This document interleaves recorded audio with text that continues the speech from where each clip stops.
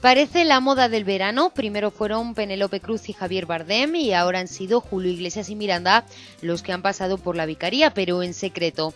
En una entrevista concedida a una famosa revista, ambos aseguraron que no fue una boda en secreto, sino en la intimidad y sobre todo por amor. El enlace tuvo lugar en la parroquia Virgen del Carmen en Marbella.